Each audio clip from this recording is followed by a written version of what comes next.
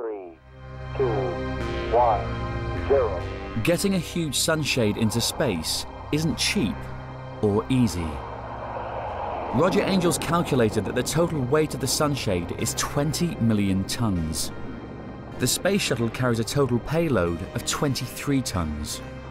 This would require 870,000 trips, costing $450 million each. A total cost of $392 trillion, or 29 times the annual GDP of the USA. But could there be an answer to this stellar-sized problem? In a simple campus physics experiment. This is a, a disc of aluminum, weighs about 10 pounds, and it's very pure aluminum that conducts electricity very well.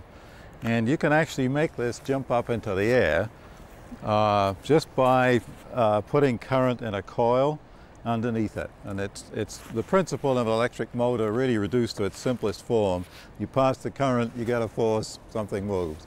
But in this case, the motion, instead of being round and round as in a motor, we can get magnetic force straight up. The real launcher is a series of electrical coils inside a two kilometer long vertical tube. As the rocket rises past each coil, it gets an electric jolt, making it accelerate faster. It's very high acceleration, 4,000 G. So people would end up, you know, as uh, uh, red jam on the bottom of the rocket if you tried to launch with this. But we can design mechanical parts so that they can withstand this high G force.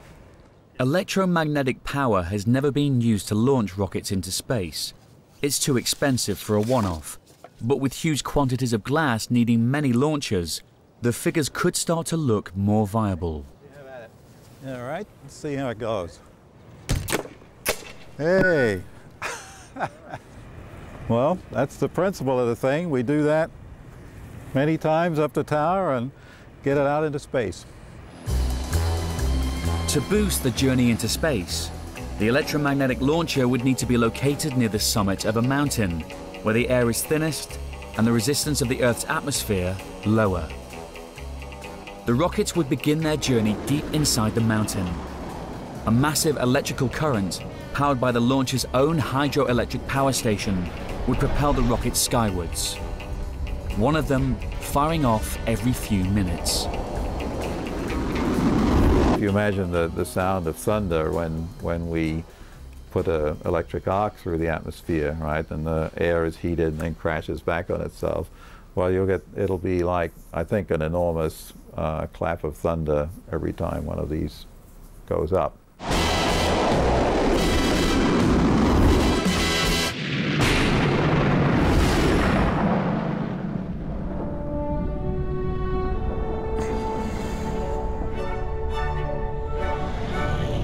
Well, the first thing after it leaves the atmosphere is that you need to correct the course and get it headed towards where it has to be at L1, which is a million miles away. And that's done with this ion propulsion technique that was pioneered by the Europeans in the Smart 1 satellite that went to the moon. You then have within the rocket a stack of a million of these very thin flyers. So the next trick is to get them off the top of the stack. You put an electric charge and then the top one is repelled away. Once they are released from the rocket, then they make their way to somewhere in the cloud. It doesn't really matter where. So they're all randomly spread out.